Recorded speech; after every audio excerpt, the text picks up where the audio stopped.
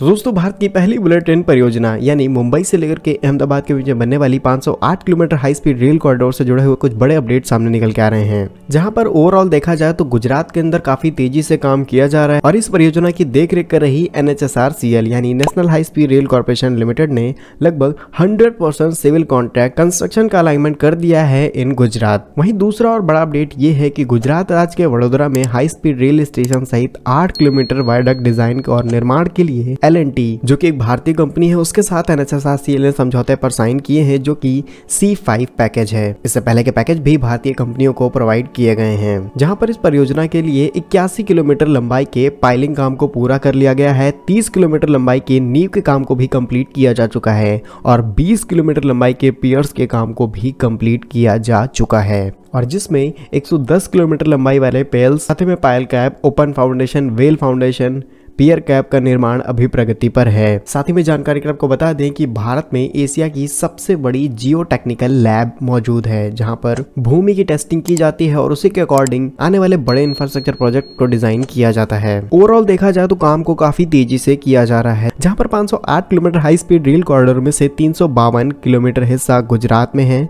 और चार किलोमीटर लगभग दादरा नगर हवेली में है और एक सौ छप्पन यानी वन किलोमीटर महाराष्ट्र में स्थित है, जहाँ गुजरात के अंदर 98.6 परसेंट और दादरा नगर हवेली में 100 परसेंट भूमि का अधिग्रहण किया जा चुका है। वहीं महाराष्ट्र में अब तक सिर्फ़ 62 परसेंट भूमि का अधिग्रहण ही किया गया है। जहाँ स्पेशली गुजरात की बात की जाए तो यहाँ पर साबरमती, अहमदाबाद, आनंद, वडोदरा भारत, सूरत, बिलमोरा और वापी सहित आठ हाई स्पीड रेल स्टेशन को आपस में कनेक्ट किया जाएगा। वही Vadodara high speed rail station के अंदर एक नई चीज़ हमें देखने को मिलेगी जो की इंडियन रेलवेज और बुलेट ट्रेन के स्टेशन को आपस में कनेक्ट करेगा, जो की प्लेटफॉर्म नंबर सेवन होगा और यहाँ पर इंडियन रेलवेज और हाई स्पीड रेल दोनों आपको एक से दूसरे फ्लोर पर मिल जाएगी, यानी एक ही प्लेटफॉर्म आपको दो अलग अलग फैसिलिटीज़ प्रोवाइड की जाएँगी। लास्ट में बात की जाए तो गुजरात के आठ जिलों से होकर गुजरने वाले स्टेशन के लिए गार्डर्स कास्टिंग और इलेक्शन के काम को भी शुरू किया जा चुका है, जो कि बहुत जल्द कंप्लीट कर लिया जाएगा। तो दोस्तों, ये है बुलेट ट्रेन के कुछ बड़े अपडेट जहाँ पर काफ़ी तेज़ी से काम किया जा रहा है। हम उम्मीद करेंगे कि बहुत जल्द बुलेट ट्रेन भारत में दौड़ती हुई नज़र आए। इसके बारे में आपकी क्या राय है कमेंट बॉक्स में ज़रूर लिखिएगा। भारत के ऐसे ही इन्फॉर्मेटिव एंड यूजफुल वीडियो पाने के लिए हमारे यूट्यूब चैनल को सब्सक्राइब ज़रूर कर लीजिए। मिलेंगे हम आपको एक नई और इंटरेस्टिंग वीडियो में। तब तक के लिए वंदे मातरम, भारत माता की जय।